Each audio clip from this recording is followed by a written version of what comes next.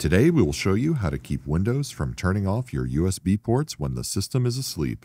Here is how to check this on your Windows 11 PC. Right-click on the Start button, typically found on the taskbar at the bottom of the screen, and click on the Device Manager option listed here. A Device Manager window will open on your computer. From the list of options here, click on the option next to Universal Serial Bus Controllers.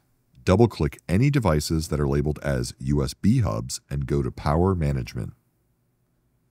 Uncheck the box for Allow the computer to turn off this device to save power, which is listed here, and then click on OK to set your changes in place. You may see multiple USB hubs listed here. You can repeat the process for any USB hubs that you see here to verify they also have their settings for this unchecked. Any setting changes made will update automatically. So if you're having issues with waking your computer back up from sleep, it may be that Windows is disabling your USB ports and causing your mouse and keyboard to stop working while asleep. Try these simple steps if you're having trouble waking your computer back up, and make sure to subscribe for other helpful tips and products from the best computer store in the world.